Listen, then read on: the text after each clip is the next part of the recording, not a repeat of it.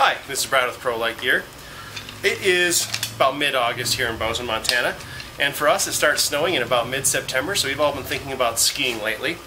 And uh, I want to show you this. It is the Carbon Light Avalanche Pro from Camp. It's 2.4 meters long, and this is just a really good way to lighten up everything else in your pack when you're going skiing. I mean, you're taking a snow slide, you're taking all the avy gear, you're taking all the snow science stuff. This is a good way to knock out quite a few ounces out of your pack. Uh, this whole thing for 2.4 meters weighs 4.55 ounces. It's connected by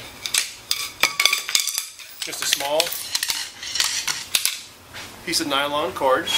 Now when you get to the top, you basically pull tight, slide through an exterior slot, which tensions the rest of the probe.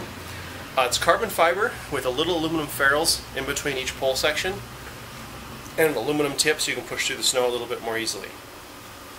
All in all, a 4.5 ounce weigh to really keep your pack just a little bit lighter for those quick backcountry ski tours. If you have any questions, please feel free to post in the Ask Brad section of our forums.